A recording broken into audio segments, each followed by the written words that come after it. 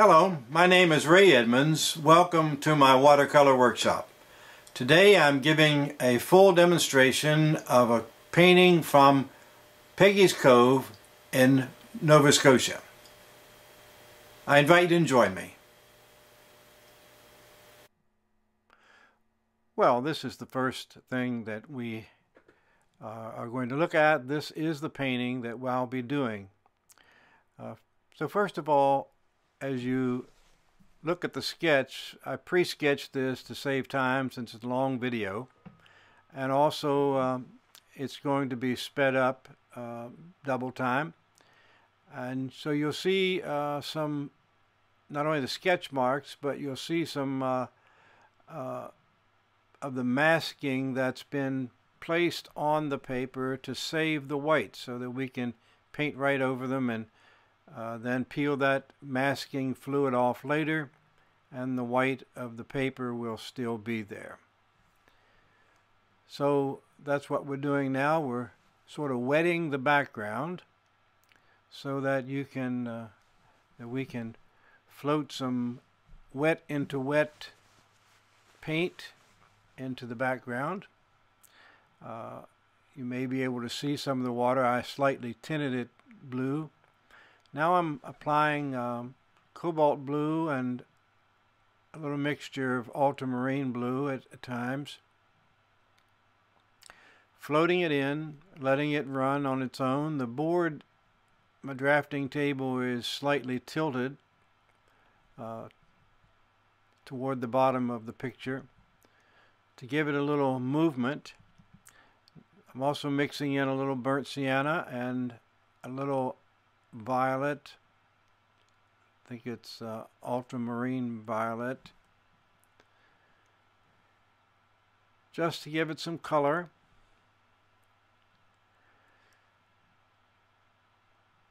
Now a little bit more burnt sienna floated into it.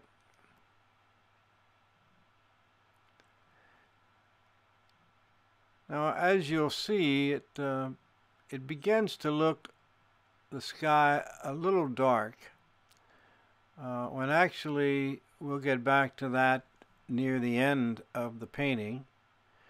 It's not nearly as dark as it looks now because when it dries it's going to dry much lighter. Tilting the board uh, not only a uh, little catty-cornered there but also uh, it's tilted like that so that it runs toward this corner which you can't see on the camera at the moment. The clouds are sort of running down toward that left hand corner of the page. I'm holding it up so it increased the flow a little more. Uh, I like to, in my skies, I like to uh, hold them uh, in different angles letting the water run back and forth.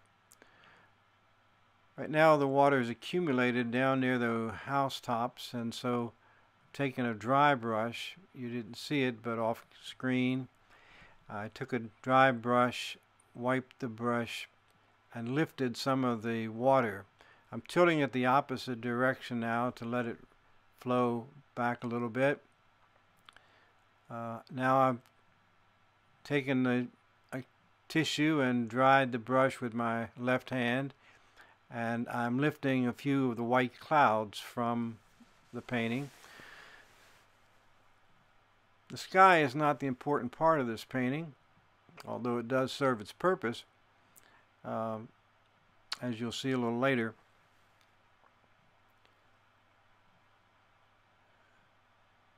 So it's not meant to be too dramatic. Now I'm floating in the water of the harbor. I'm using uh, ultramarine blue with a little cobalt mixed in with it. What we're doing now, of course, is just laying in the first washes of the painting, uh, the underlayment, defining the shapes, painting around some of the areas now the shadow of that boat, I'm leaving white at the moment. We I could have put uh, masking fluid there to preserve that, probably should have. Um, I'm not a great fan of using too much masking fluid. It's a great tool for some people. Uh, I'd rather paint around at times. Gradually darkening some of the water, getting the right values at this stage is important. You can put another layer or glaze on top of these after they dry. This is all still wet and the, the harbor water there is still wet. You can see the advantage of putting a masking fluid and painting right over the boat and over the figure there at the bottom. Uh, this helps to preserve that white for later on. Many times in landscapes I, I won't put a masking fluid down but certainly with um, all the objects in this one. Painting a little of the foreground there, that's the uh, uh, walkway where the artist has set up her palette.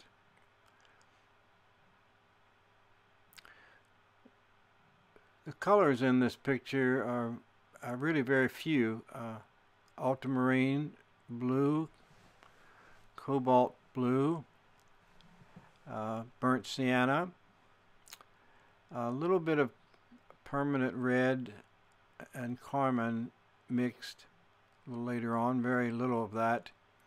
Uh, the the darks, the what looks like blacks, are mixed with ultramarine blue and burnt sienna, and a little violet. Painting the roofs. Most of the roofs are dark color. Um, not sure they really are in Peggy's Cove. Been there a number of times, but uh, what the dark roofs tend to do is establish a darker value. They look darker against the lighter sky, of course.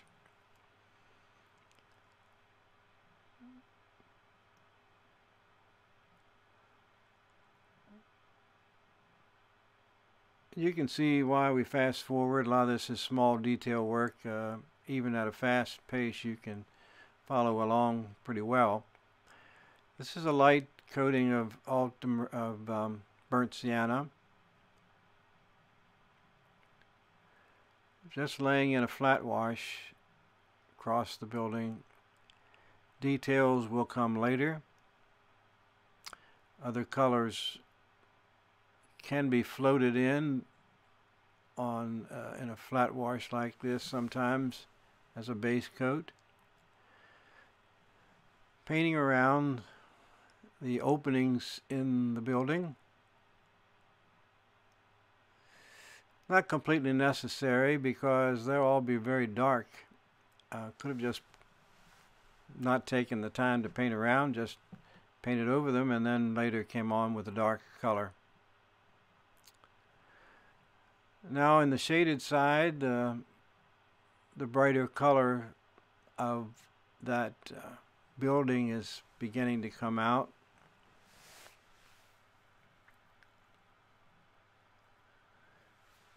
A little more color to that base, that's, that side of the building is dry.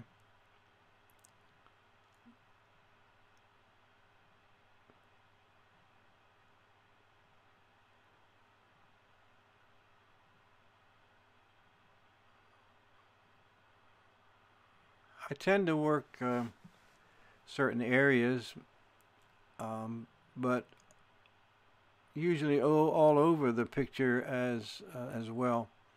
Um, you don't want to get uh, too hung up in one area of the painting and begin to work too much detail into it. Um, right now, I'm basically establishing values of light and darkness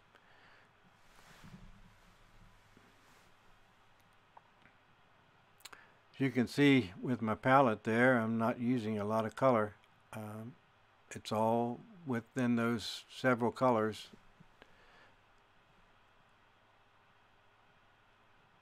These are the shaded sides of those buildings, of course, the darker sides. And all of that again is to establish the values. The values between 1 and 10 would be something like uh, 6 or 7, uh, except the roofs. The roofs probably are the darkest value in the painting so far.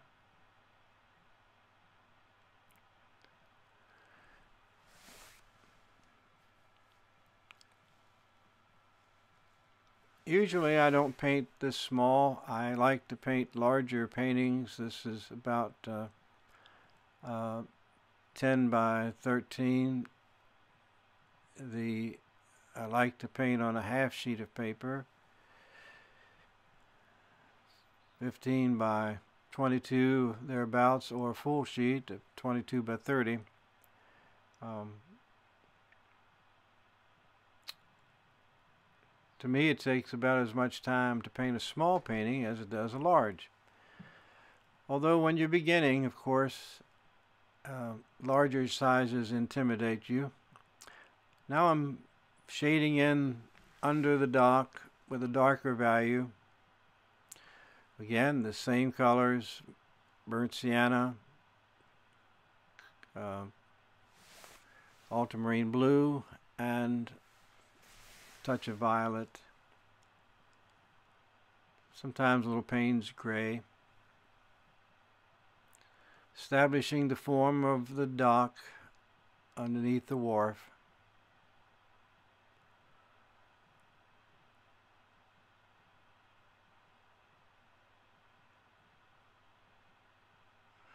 Off camera you can't see but there's in my left hand I have a um, some paper towels that I will adjust the moisture that I've just gotten from my palette. I'll take some of the paint off depending on where I'm going to put it. Uh, the amount of paint and the amount of water of course controls the uh, the intensity of your color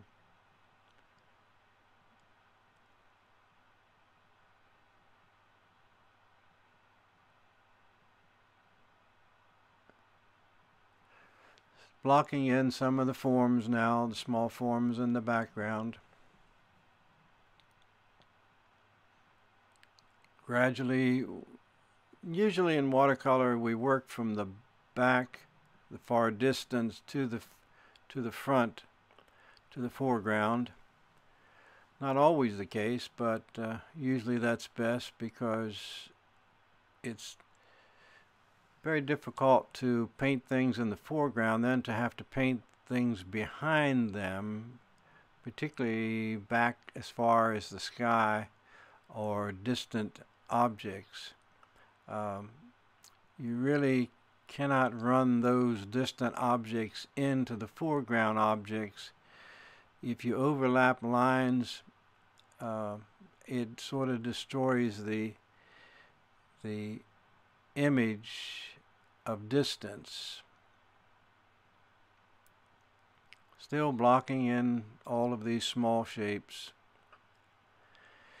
This is a mixture of uh, red, permanent red, and uh, I think uh, alizarin crimson.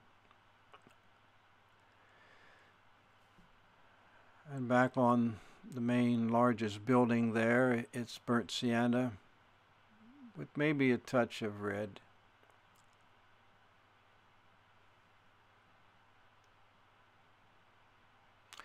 Sometimes it's easier to turn the paper sideways if you're trying to stay within certain lines, if their lines are important.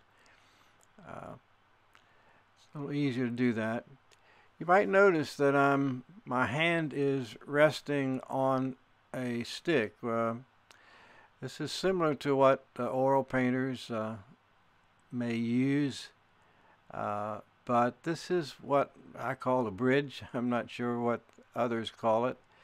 It's just a, a firm piece of wood, uh, small. This one's about an inch and a half wide. Um, any thickness will do. I prefer a thin piece of wood. Uh, this one's about a half inch thick. And on either end of it, there is about a quarter inch piece. You can't see that from the angle of the picture at the moment. But that keeps it off the surface, keeps the board off the surface of the picture and serves as a little rest for my hand. Other artists use other tricks. Sometimes I'll use just a piece of paper if the if the picture is dry. Uh, certain parts of it dry, I'll just use a picture of piece of paper. But this little bridge comes in handy. Keeps your hand off the paper. You don't want the oils of your hand to touch the paper because that will influence the water uh, and the color, particularly if that area has not been painted. You may not see it if it's if it's white, uh, or for that goes any color. You may not see those oils, but they do affect the colors that come later. Now I'm beginning to do a little detail work on the windows of the building. Uh, all this is a little time consuming. Uh, this is sort of a semi-realistic style. It's not as impressionistic uh, some. You were painting this in a larger format and sort of impressionistic, you wouldn't perhaps spend as much time uh, on these little details. But uh, I felt they were necessary in this painting. A lot of hard lines, not so many soft edges. Do like soft edges, but it's uh, painting this far in the distance. Uh, the soft edges are a little more difficult to to have in there.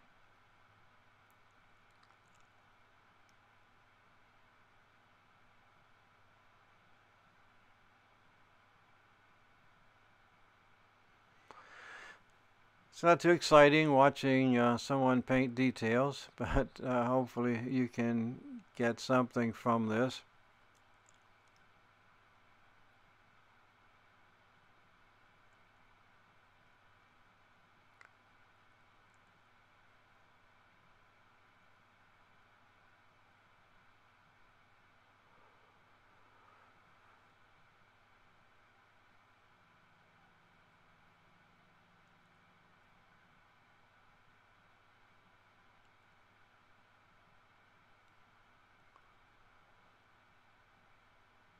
Now we're going to paint in the side, some of the siding, give it a little texture.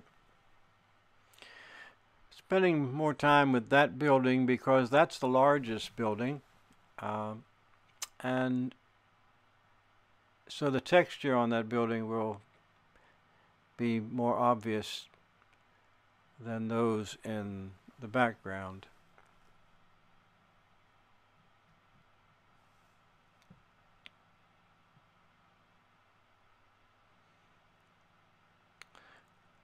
I tend not to use too many colors in paintings. I've got uh, a full palette of, of paint, but and some of them are very pretty, but the kind of paintings that I do, um, usually the colors are rather muted, and uh, burnt sienna, ultramarine blue, uh, yellow ochre, which I haven't used in this painting, uh, and uh, a few yellows uh, and a, just a basic red. Cobalt blue. Those are sort of my standard colors. Uh, I do have a violet mauve but I tend to uh, paint evening scenes or uh, landscapes and uh, don't like a lot of garish colors. I've seen some very beautiful watercolors with some beautiful colors, but just doesn't suit my subject matter very often. To say this is not the exciting part to watch uh, detailing but you can gradually see the picture, I would think, come forward. It begins what some artists say begins to pop. It's the little things that make it uh, begin to take shape from uh, obviously you could tell what this was from the beginning because I sketched it a little darker than I normally would sketch for uh, my paintings. So you could see uh, what the painting was. Sometimes um, you can't tell what a watercolor is going to be until you're halfway through.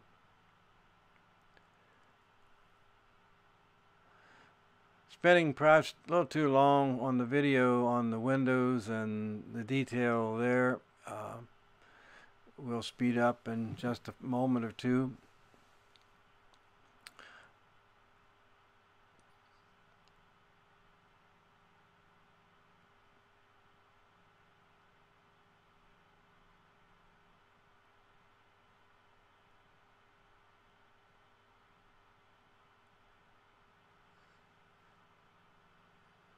Painting watercolors is a constant process of looking at your values um, because as you know if you're a watercolorist the uh, as the painting dries in watercolors they the paint gets lighter uh, which changes the values and only experience will sort of give you the guidance to know how dark it is to put on. There's nothing wrong with uh, going back in after it's dry and laying another glaze of color over it to darken it.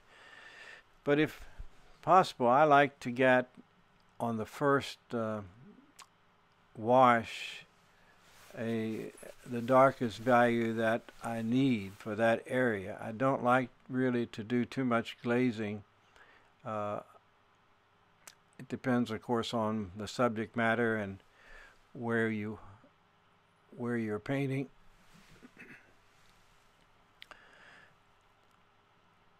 I do a lot of glazing and landscape work.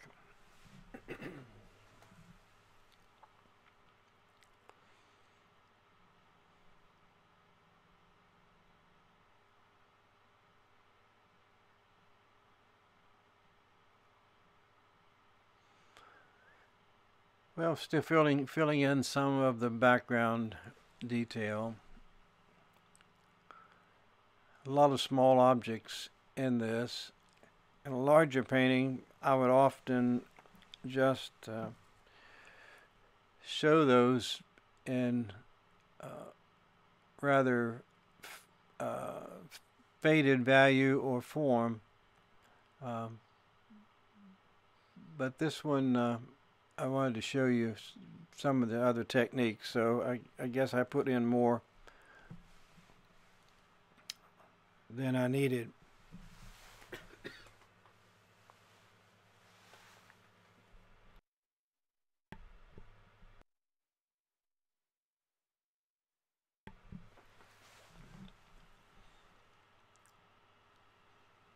Mixing some paint now.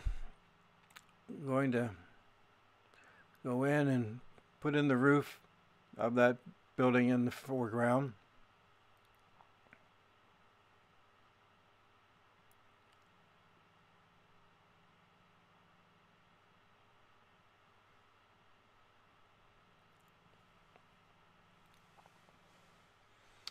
feel like I need to sing a song once in a while, but I know I know you don't want me to do that. You'll turn this channel off right away.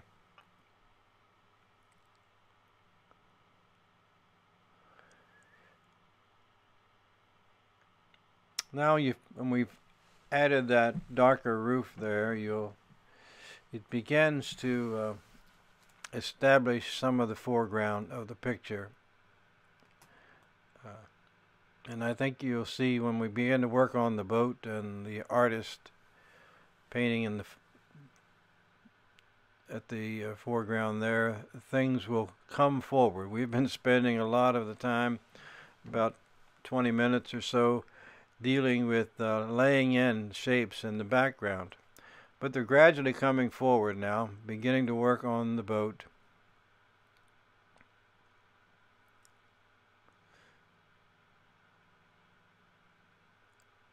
This is a very typical harbor scene, by the way, uh, one of the most photographed areas of the eastern Atlantic coast. Nova Scotia, of course, is a paradise for artists and photographers. And Peggy's Cove is one of those areas that uh, has a. This is a very familiar scene. Anyone who's been there should recognize it. And often you will see an artist standing there or sitting, uh, sketching or painting. Many photographers. Uh, it's a tourist site which tour groups and uh, people on cruises to that area. The tour buses will bring you to this site quite often.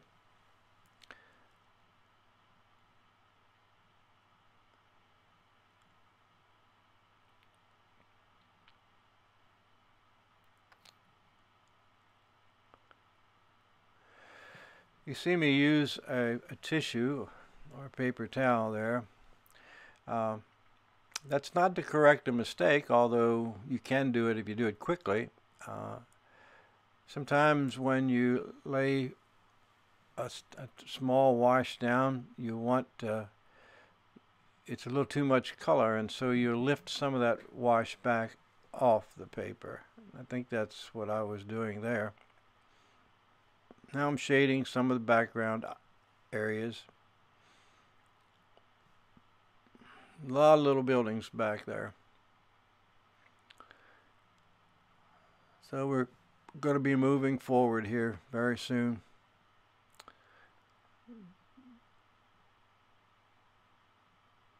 All of that uh, back there serves to sort of stop your eye from traveling any further up.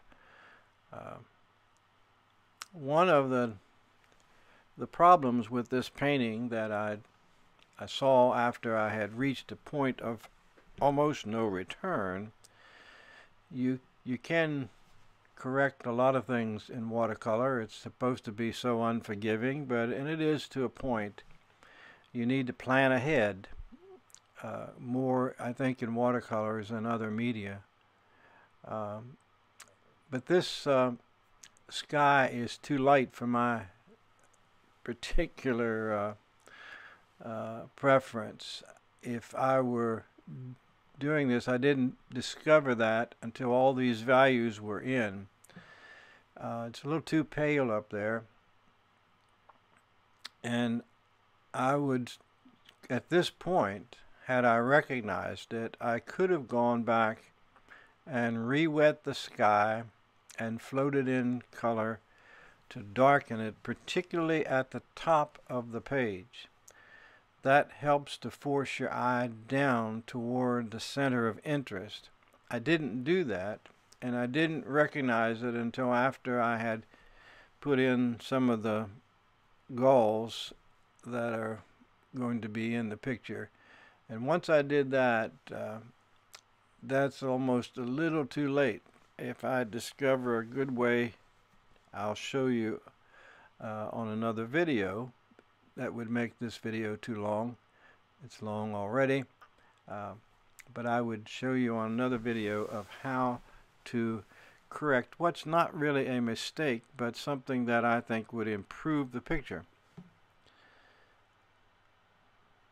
There are techniques that you could do that.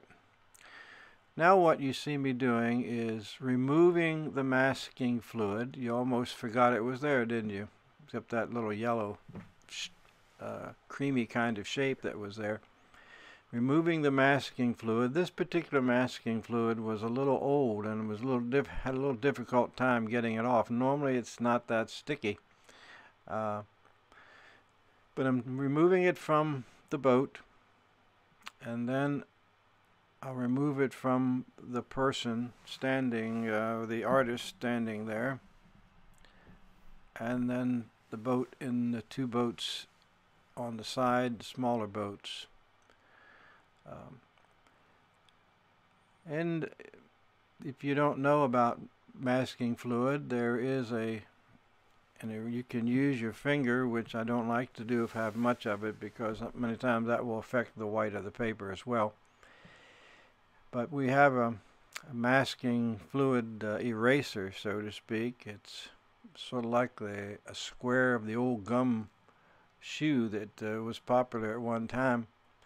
And it, uh, of course, doesn't use it up. It stays like that forever uh, and it helps to rub off that fluid. Now fluid, if you haven't seen it, it's a little like a rubber cement that you can get.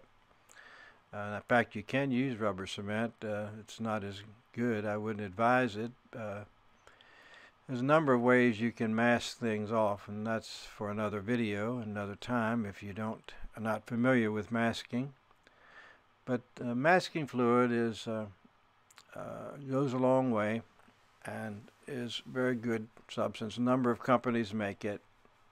All the major painting companies do have one.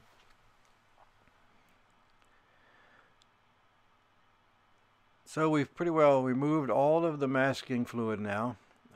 I'm going back and painting the shady side of that boat. Even though it's a white boat, it has a shaded side which because of the blue of the water, has a sort of a cast shadow, uh, or reflect, reflected shadow rather, of sort of a blue onto that, as well as in the water.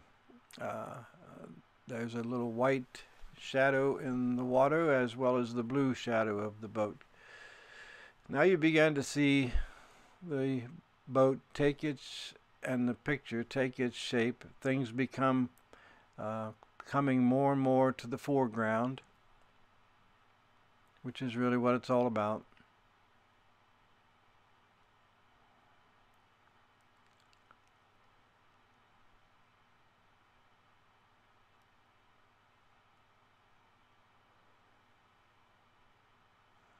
And let's just add a little trick of moving the paper around to make it the angle of your brush a little easier.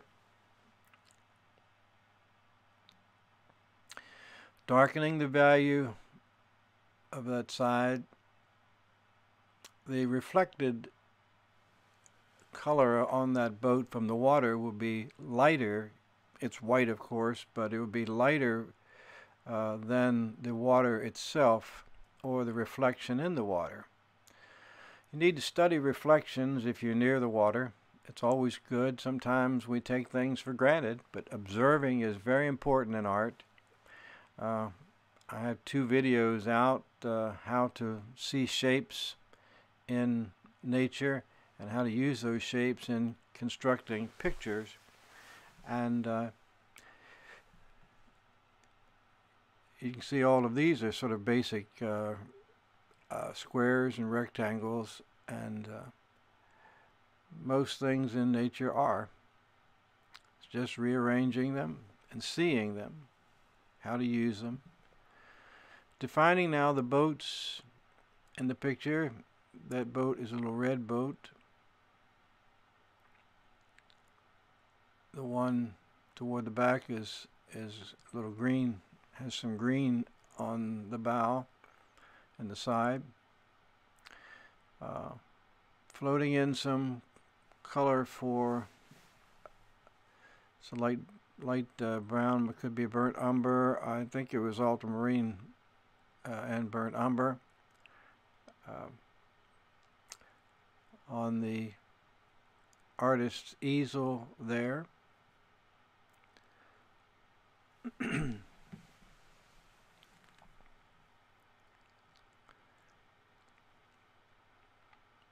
I don't do as much plein air painting. That's uh, painting outdoors. Uh, uh, which is a great way to paint.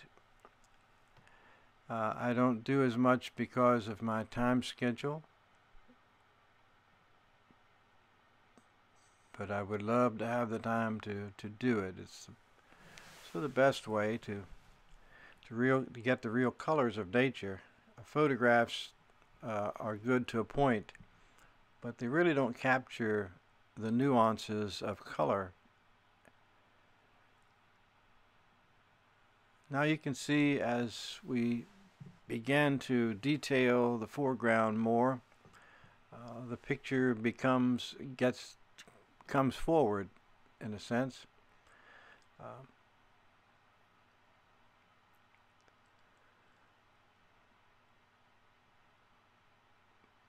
putting in little details of value back there which help define those buildings.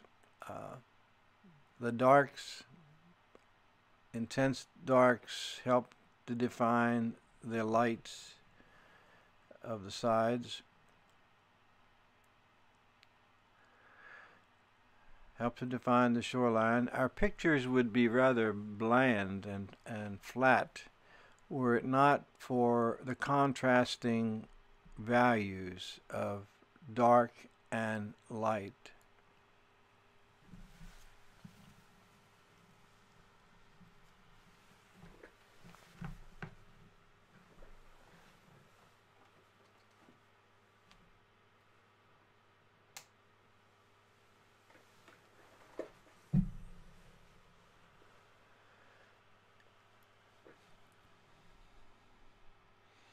As you can see, that little bridge is a very handy thing uh, when you're working.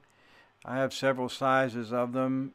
I make them wide enough to span most of my paintings except uh, a full sheet of 22 by 30 uh, but I still can use it uh, on those just have to be sure that I don't uh, have paint on them as I put them on the painting. Now you can see the defining the shadows, reflections of those buildings does several things. Not only helps to make it a little realistic about the, the buildings, but it also, again, with the light and dark values, helps to define that bank of rocks and grass. Uh, helps to bring out the buildings themselves. And I'll be darkening some other areas of the picture. All this takes time, of course, even with small pictures. Uh, just because they're small doesn't mean it takes uh, a lot less time. You just don't have to cover as much. And new artists tend to get intimidated by filling up the whole space, but uh, uh, actually, I find it's just as easy to paint large paintings uh, as it is to paint the small ones. Uh, particularly if you're going to paint a scene like this. Now, if a, a 9 by 12 or a 10 by 13 uh, sheet of paper you were painting a single subject like a, a flower or uh, a vase or a still life, of apples and bananas and so forth, uh, it uh, wouldn't be as time consuming. But when you're painting a scene, uh, a seascape or a harbor scene or landscape, uh, there's a lot more detail in that small one. So it's a little time consuming.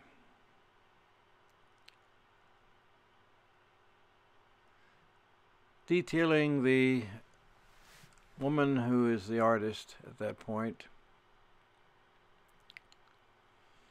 She was an oil painter. Uh, this was an actual scene. Uh, didn't make this up. There was a, an artist there. Uh, not sure what she was wearing that day, but uh, it's a very typical kind of dress. I didn't see what she was painting, but uh, what particular part of that harbor she was painting, whether she was painting the whole scene like we are today, or whether she was just painting the boat and the building, not quite sure. I didn't really have the time to engage in conversation with her. A little more detailing to make the boat uh, stand out and to come forward.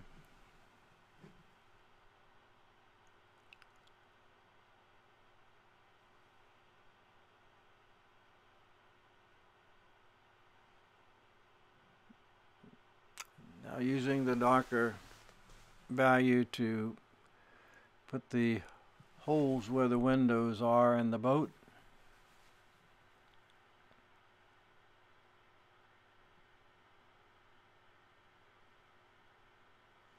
The brushes that I'm using are uh, not really expensive brushes. These particular brushes, uh, since I don't paint small too often, except for demonstrations, uh, I don't usually have a number of uh, expensive small brushes.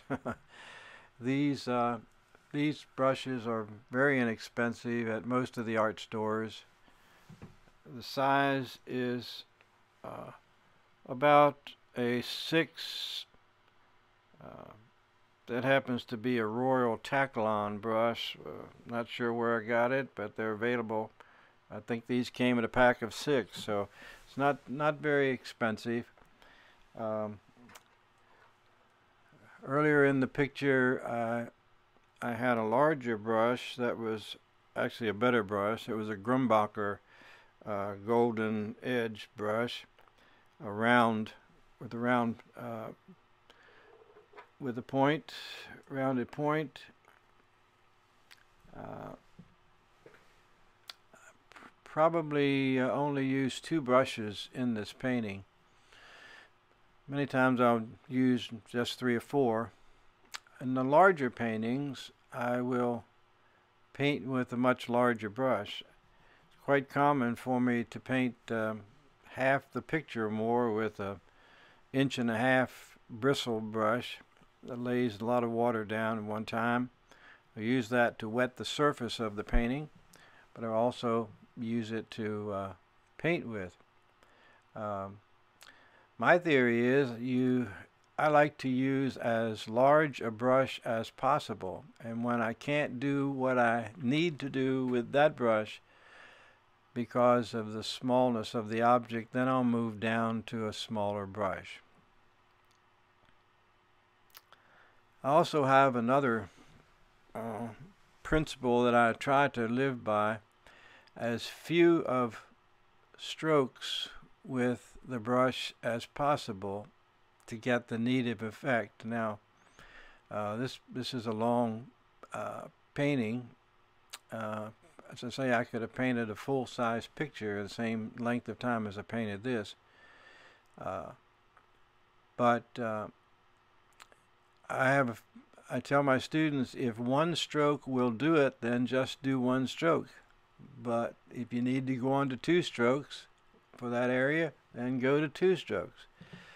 If you have to go to three, then go to three. But always keep it to a minimum. There's something about watercolors. It's not like painting a, a wall or a house where you go back and over it and over it and over it, back and forth and back and forth. Uh, I feel that, that going back and forth over the same area, even though it's wet, uh, affects the the purity and the transparency in, in a way that I prefer not to do. Now, there are times when you have to do that. And one of the first things I watch with my students is they'll they'll get the brush and they'll lay paint on and just go back and forth, back and forth over the same area. And I'll say, well, why why are you doing that? You already have that area covered. What do you need to do several strokes for? Um, I'm what we, I call a lazy painter. If one stroke will do it, that's what I do. If I have to have two, I'll do two. But uh, keep it to a minimum. Simplify. And I think your your painting in watercolor is much better that way. Now that, that may not apply to the uh, oils and acrylic painting. You're always, the white of the paper is always affecting what you're doing. You don't really want to cover that up. Same way with when you put paint onto your palette from a tube or whatever you're using. Um, I find that beginning watercolor artists put too much paint on their palette. Uh, a little paint in watercolors will go a very long way. Uh, I put down about the head of the cap of a small tube of watercolor painting is about all I put down if I'm putting it on a fresh palette.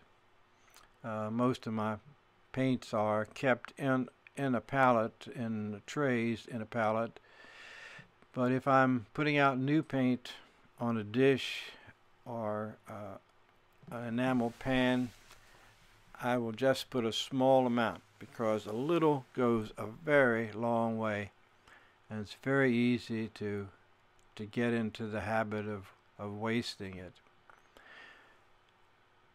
That's why I like to have it in a palette, a tray on a pallet because uh, I can lift what paint I need from it uh, and doesn't go to waste if I don't use it.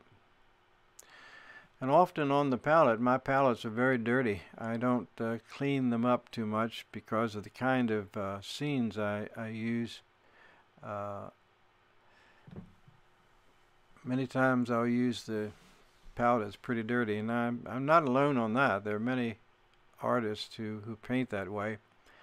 Obviously, if you're painting um, uh, objects like flowers or some other still life where the colors need to be pretty pure, then you want to make sure that uh, that much of your palette is, is clean.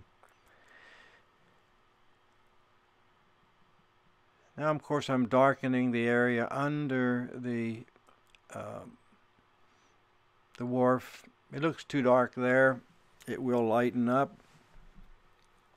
Again, this is all part of uh, knowing how dark to lay the water color down because it's going to lighten in value. Putting in some reflections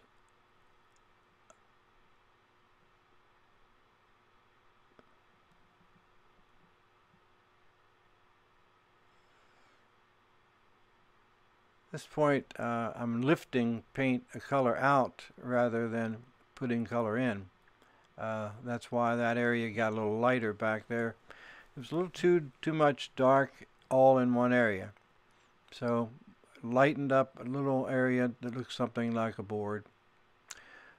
Bringing it forward now, darkening the foreground. Another little tick, trick is in the foreground, the bottom of your painting, uh, off many times. Now there's no hard and fast rules in watercolor, but many times putting the a darker color of whatever color is in that uh, bottom part of your painting, putting a darker value will help again frame the picture. Keep your eye above that, which is where you want it to be. Um, now, not a solid color, of course, but uh, what we would call a graded wash, or in other words, just faded from dark to light in certain areas. Working on the rocks now to to there's a, a rock a wall there to keep the uh, the road in place, I guess lack of a better reason. There's a lot of little details need still to go on. Um,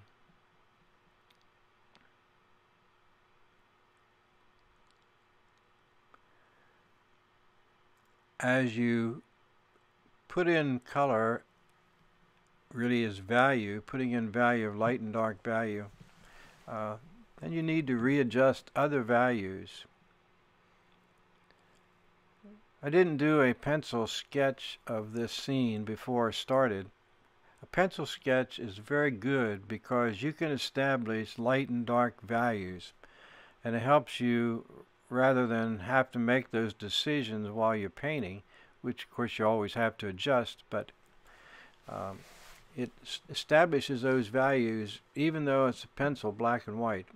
Uh, if you have a photograph and you have your own printer on a computer, often a good trick would be if you had this scene on a photograph, would be to turn that scene into a black and white photograph and print that so that you have that. That establishes the value, and the value of the, is the most important uh, element of a picture. The color is is nice. It helps it make more realistic, but really it's the light and dark areas that makes the picture have its full oomph and and uh, to say pop off the page. Now we're getting very close to the end at the at this point. Still got uh, more detail to put in, but you can see the painting coming forward all the time.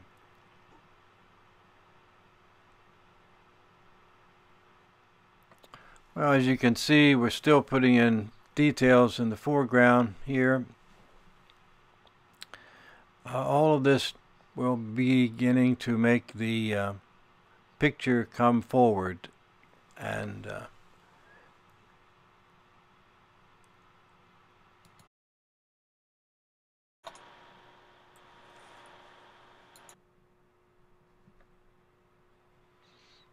Yes, they're just adding little things here and there to make the picture come forward now. It's all this small detail that takes some amount of time, but that's what, uh, in the end, shows up everything. Adding some shadows now on those small boats back there.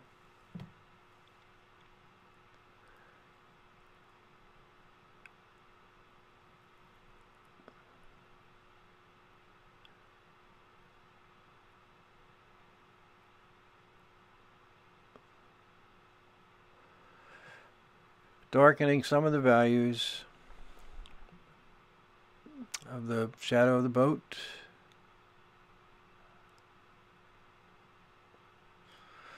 Bringing some of those shadows across the reflection, um, some of the wave reflections, give it a little more realistic look.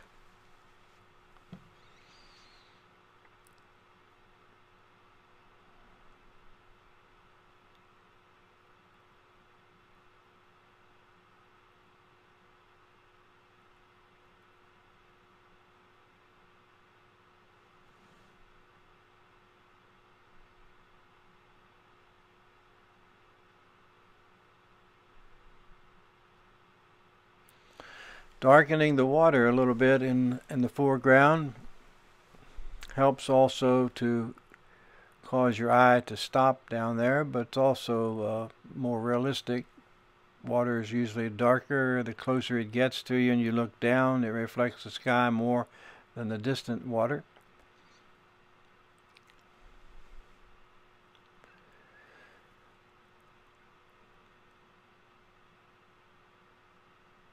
Comes a point in every watercolor when the watercolorist has, or any painter, has to decide when to stop. Uh, this point, still adding some detail here and there. You don't want to overwork it, don't want to make it too precise. But every time you add some value one place, it sort of affects values everywhere. And that's why you see the adjustment back and forth across the painting. For a viewer, of course, it uh, becomes a little tedious, but if you're an artist, this is what you need to do to keep bringing the picture out. And put a frame on there. Now I'm taking off the masking tape around which borders it. Helps to frame it a little bit more and you get a better idea of what it's like. Um, we're not finished at this point. There are some other more details uh, that needs to be done. Just darkening some areas, giving a little more value to it. Uh, a little more value to adding a little red wash over that building. Uh, putting a little bit of light color um, don't use white paint too often, but uh, you can either scrape those light shadows of, of those pilings or use a little bit of white wash, white watercolor, just enough to highlight it slightly. Uh, and that's what I'm doing here. Just highlighting certain little areas.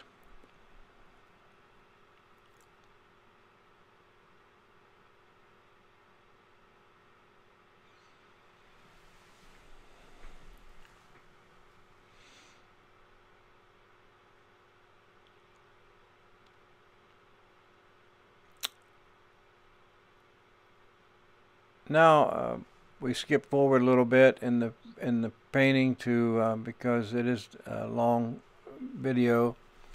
Uh, put in some gulls in the sky, and this is where I made my mistake. I would have darkened the sky a little more. That would have done two things. Would have helped uh, frame the upper part of the painting, and it also would have given me a dark contrast to show the white of the gulls. Uh, as it is, the gulls don't stand out as much as they need to and uh, there's not much you can do about that. Uh, you can outline them in a darker color, uh, but uh, they actually sort of disappeared there as I put some white gouache over them but uh, then I later went back and uh, highlighted them with some darker colors so you could see them. Now these are some fine final details adding a little grass on that hillside. Uh, now you see rather than use a bridge I'm using a piece of watercolor paper to lay my hand on uh, and I can do that because all that painting there is dry. Uh, many times artists will do that.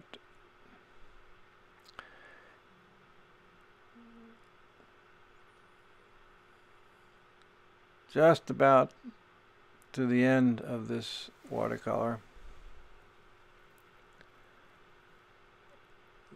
Just little things to help it come off the page. Could have done this off camera, showing you the final result, but it's only fair to see uh, as an artist sees as they get close to the end of their painting uh, what they feel they need to do to, to make it a little bit more, have a little more pizzazz, uh, a little more eye-popping thing. So darkening certain areas, this all comes into value. Darkening certain areas, and uh, part of the part of it why it takes took me so long to establish the values that I finally wanted here uh, was not so much the colors, it was the light and darkness, and that's because I didn't do a pencil sketch of this scene before I started. Had I done that, I would have been much more deliberate. Planning ahead in a watercolor is, is a critical step. Um, some artists can visualize the entire painting uh, before they even start. They know what it's going to look like uh, in their minds before they even start. That's quite a, uh, a good technique to work toward, a skill really to work toward. Think ahead, plan it all out in your mind before you begin to touch the watercolor. In in oils and acrylics and gouache, you can uh, you can always correct those mistakes by painting over them, but you really can't do much of that in watercolors. There are a few things you can do, but uh, it's very, very, very few.